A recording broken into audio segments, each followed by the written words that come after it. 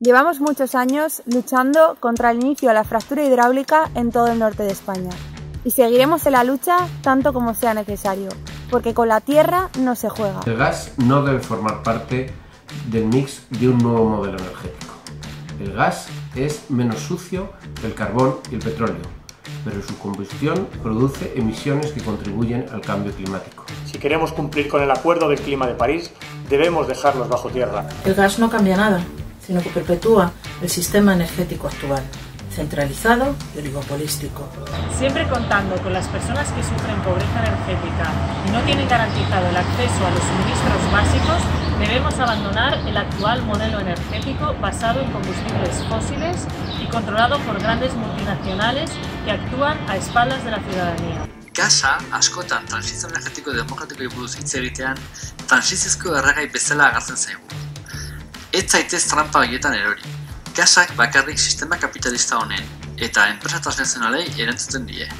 Las infraestructuras gasísticas tienen costes mil millonarios que acaban repercutiendo en nuestras facturas. En el Estado tenemos ejemplos que han generado deudas ilegítimas, una deuda contraída en contra de los intereses de la población, como es el caso del almacén Castor. En los últimos cuatro años, la Unión Europea se ha dejado 1.200 millones de euros en infraestructuras inútiles de gas. Y lo hacen porque en sitios como este los lobbies tienen gran influencia. Hay que dejar de tirar el dinero. En Canarias, después de la lucha del petróleo que tuvimos hace años, las plataformas se han constituido de no al gas. Nos quieren poner gas ciudad, aire propanado, que realmente es un fraude. Nos quieren poner un par de centrales de gas en las islas. Nosotros tenemos muy claro que el futuro está en las renovables. Doñana es un santuario para la biodiversidad, además de ser patrimonio de la humanidad. Hagamos una apuesta por las energías limpias, que generan empleo y nos garantizan el futuro. Es imposible descarbonizar el transporte usando gas, ya que es un combustible fósil. Porque apostando por el gas, Estamos atrasando la transición a las energías limpias. A planta de gas de Reganosa pon en perigo os milleiros de persoas que habitamos no contorno desta ría. Ademais, os gaseiros non teñen autonomía para entrar e sair, dependen das mareas. E a maiores, o proceso de regasificación está acabando coa riqueza pesqueira marisqueira. Queremos que la ciudadanía no sea engañada mediáticamente por el modelo del gas, también conocido como natural, cuando este tan solo es el, una rama del mismo modelo energético obsoleto.